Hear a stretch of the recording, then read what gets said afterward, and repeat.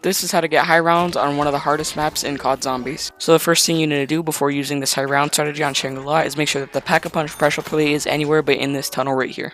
This is because we're going to be leaving this door shut and training in this room right here. Keeping all of this in mind, the next thing you're going to want to do is get the baby gun from the box. Once you have your baby gun, you're just going to want to train in this room until you have a big enough horde in which you're just going to want to shoot right down the middle and then run them all over. The perks that I would recommend using in this strategy are Juggernog, Quick Revive, Widow's Wine, and Stamina. For the Napalm Zombie, he's always going to spawn about right here, in which you're just going to want to shoot him with the Shrink Ray and shoot him with a regular gun. Once you've killed him, try to avoid his pool of fire as much as you can. For the Shrieker Zombie, you can just use your Shrink Ray and kill him like any regular zombie. Also, keep in mind, there may be moments where you're going to need to kind of spam your Shrink Ray a little bit just to stay alive, and that is completely okay.